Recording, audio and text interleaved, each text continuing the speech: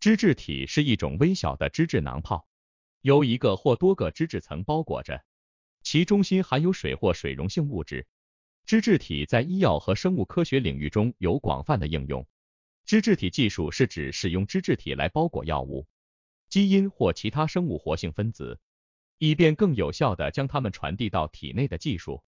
这种技术有许多应用，包括药物传递、基因疗法、疫苗传递等。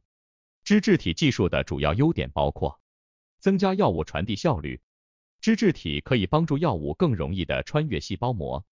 提高了药物的生物利用度，降低毒性。通过将药物包裹在脂质体中，可以减少对健康细胞的损害，从而减轻副作用，增加稳定性。脂质体可以保护一些药物或分子免受分解或降解的影响，延长其有效性，提高目标定位。脂质体可以被设计成具有特定的受体或标记，以确保它们更精确地传递到目标组织或细胞。关于副作用，脂质体技术的副作用通常较低，但可能会出现局部刺激或过敏反应。